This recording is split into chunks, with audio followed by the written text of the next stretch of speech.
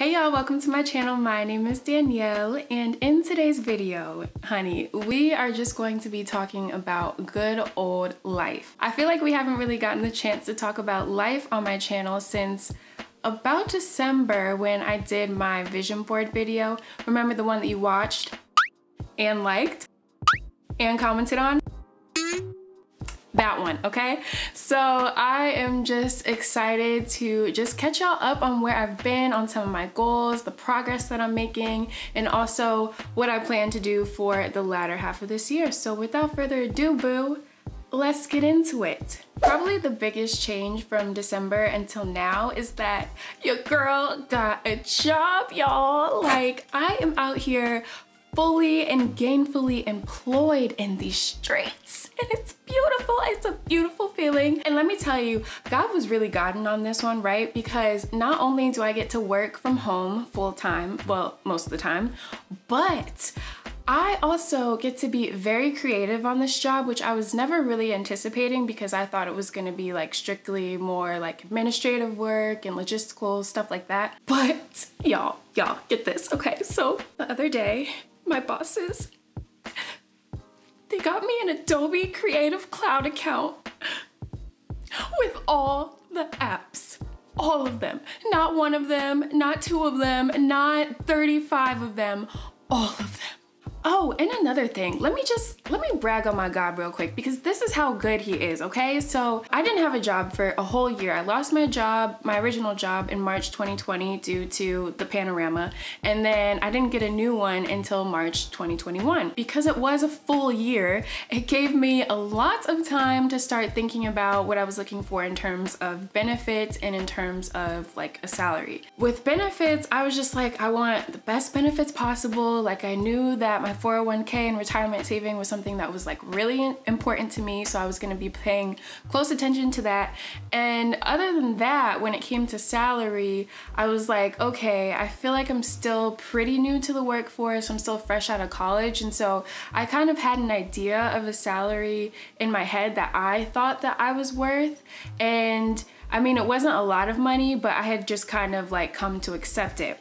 All that to say that this job completely surpassed every single like standard that I had set for myself and that I thought was acceptable. The benefits that I had in my mind that I was gonna be able to achieve, like nothing compared to some of the benefits that I was able to get, especially when it came to retirement, which I'm just like super excited about. Also, for salary, I am making thousands of dollars more than I ever thought that I was gonna be able to make at this point in time. If you're anything like me and you are struggling to figure out where your next job opportunity is gonna come from, I really just encourage you to put all of your trust and confidence in God and just patiently wait it out. Because when I tell you that like he perfectly crafted and tailor made this job just for me, like it's actually insane to think of all the like little details and stuff that are so fit for me and my personality and where I feel like I'm headed career-wise career wise in the future.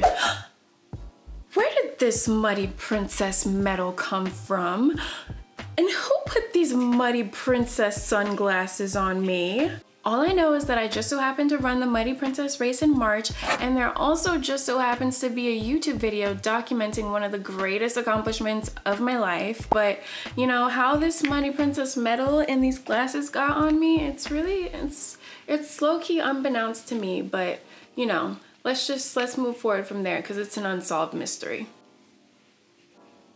Another big goal that I had set for myself for this year is to focus on strengthening and toning my arms. I started strength training in January and you know, I'm not gonna lie, I feel like your girl is on her way to seeing those Michelle Obama slash Angela Bassett arms, you know what I mean? I can tell that I am a lot stronger, not only in my arms, but just throughout my entire body. And I feel like I'm definitely leaner as well. I am learning that this whole process of like strength training and sculpting your body, it's definitely more of like a crock pot meal, you know, that you let you let sit for some hours and simmer as compared to like a TV dinner that you just like pop into the microwave and you see results in like two, three minutes tops. So it's definitely taking a lot more time and effort than I think I probably originally anticipated. Like I knew it was gonna be work, but I also didn't know, if that makes sense. And another thing that I'm realizing is just how much nutrition plays into actually building like that muscle into and into becoming more lean.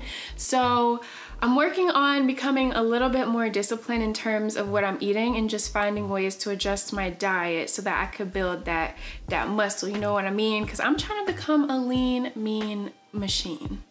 And that was corny as heck. So, we should just move on before I continue to embarrass myself.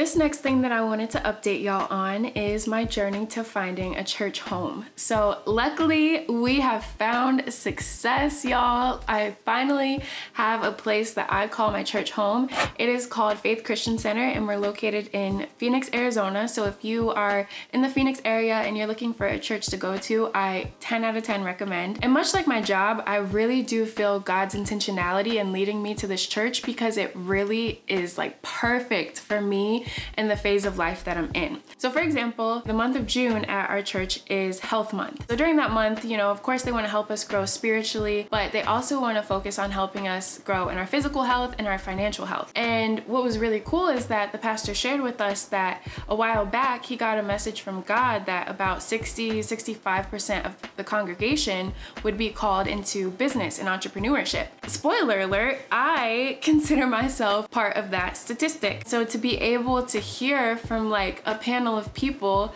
who are Christians and who are also successful in business, but doing it with integrity and doing it with excellence and in the kingdom way. It was just, it was amazing. And it was something that I've never experienced before in a church setting. Also, as I mentioned before, you know, I'm currently working on my fitness. So the fact that they value that and that they don't only want to make sure that we're growing spiritually but also like physically and that we're taking care of our temples like that's a big deal. And it was just really dope because every week they would have like these virtual workout sessions that you could follow along and join. I feel like the church always says you know you're supposed to honor god in every area of your life which is clearly very important but they don't always tell you how to practically do that and how to walk that out in everyday life. And so the fact that this church actually that and actually shows us, okay, like this is what it looks like to honor God with your body. This is what it looks like to honor God with your business, with your finances, so on and so forth. It's it's something that's really important and it's something that um, I really hope that more churches can do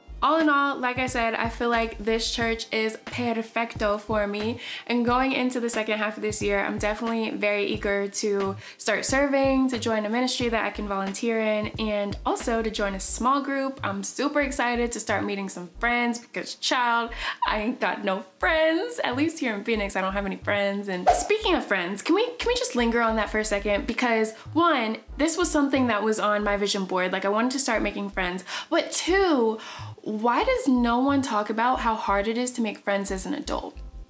Like, why is that? Why do we not share that with people? Because it's very difficult. And it's one of the most ghetto parts about adulting that I've experienced thus far. Actually, mostly everything is. Never in my 24 years on this earth did I ever imagine that it would be so difficult for me to meet a friend, to make a friend. Like? And okay, actually, I guess I'm not giving the full story because I also, I'm a very like shy and introverted person naturally, believe it or not. And so I guess I guess I have imagined before that it would be difficult to make friends because it often has been in, in, the past, but that's in the past. We're not talking about that. So if you just so happen to be a young adult in the Phoenix area and you need another person that is also young and fun to hang out with, like definitely hit me up. Like we can hang out, you know, we could do stuff. Like make sure it's appropriate though. You know, I'm not trying to do like some some weird stuff. I'm just trying to just trying to be friends. So let me know. The last thing that I want to share with you and update you guys on is where I am with my side hustles, if you will. If you remember watching my vision board video, then you know that I hinted at a little project that me and one of my best friends is working on. And at the time, I couldn't tell you what it was because, you know, we were still working on it. It was kind of secretive. But it has now come out and I'm very happy to say that my best friend Ashley and I have released our very own podcast. What? Meow, meow, meow, meow, meow, meow.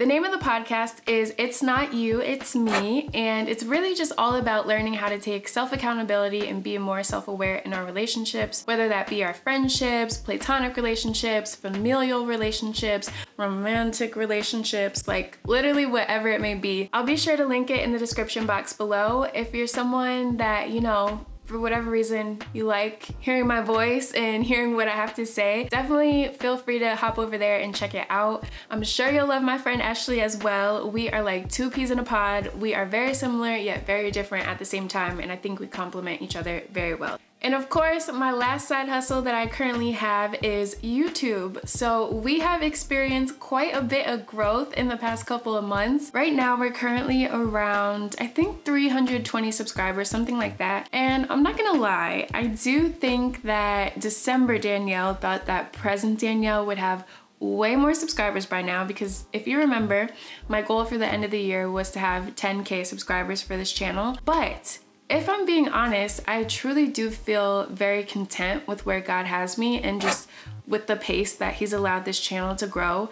Like for me, what's ultimately the most important thing is not the amount of views, not the subscribers, but that I really am being intentional about the content that I'm creating and that it really is representing God in the best way and that it's pleasing to him above all else, like period. Okay, y'all, that's it. That is what is currently going on in my life. And I feel like I have shared quite a bit and now it's y'all's turn. Like this gotta be reciprocated, okay? This ain't to be no unrequited love or relationship or anything like that. So make sure you drop down in the comment section below and let me know like what's going on with you. How's your life going? Let me know if you have any goals that you want to achieve by the end of 2021. And if there's anything that you want prayer on that you're going through in life, like feel free to comment that below as well. Or you can DM me and I'd love to talk to you that way. Thank you so much for watching. And of course, if you are not subscribed to my channel and you be watching all my videos, like sis, bro, I'm I'm gonna need you to change that today. Like make that decision. Click that button. It'll do you good. Okay?